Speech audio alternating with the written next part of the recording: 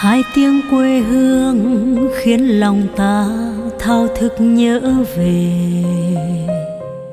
Hai tiếng quê hương chính là nơi chôn nhau cắt rốn nhưng hôm nay đây, thế sự đổi thay khiến cho bao người từ dạ quê hương để giữ lấy đức tin của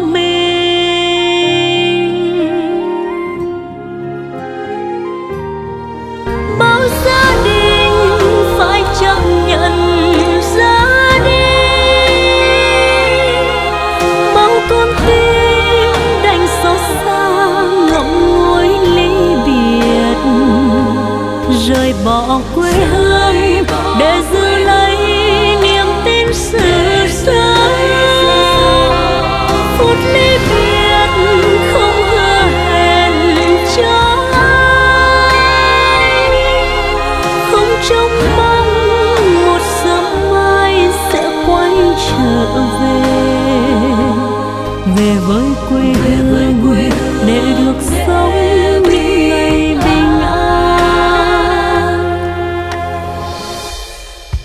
phút chia xa khiến người dân sống trong nghẹn ngào.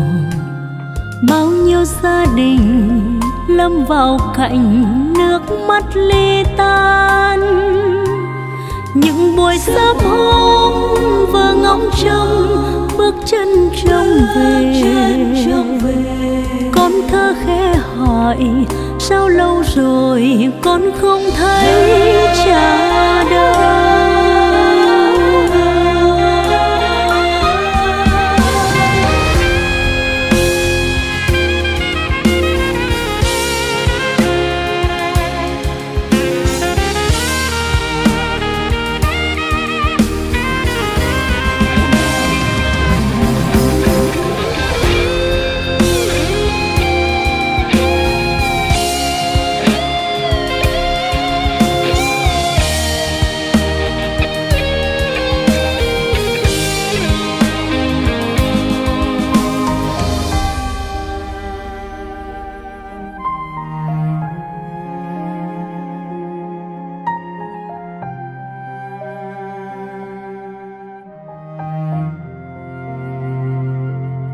hai tiếng quê hương khiến lòng ta thao thức nhớ về. Hai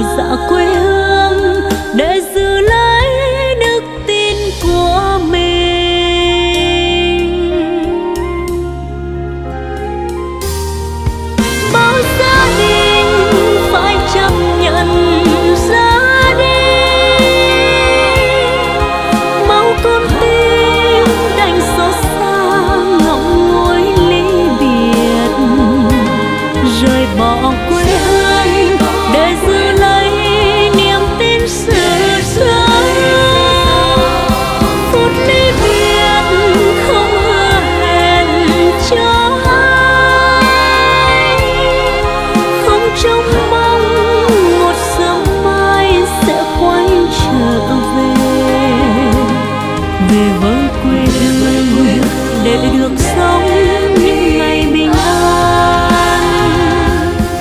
Mỗi gia đình phải chấp nhận ra đi bao con tim đành xót xa, ngậm ngùi ly biệt.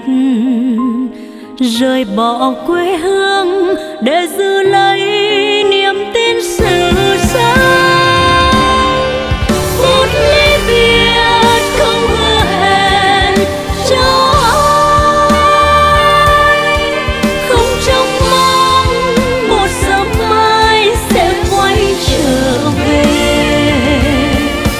với quê hương để được sống những ngày bình an. Về với quê hương để được sống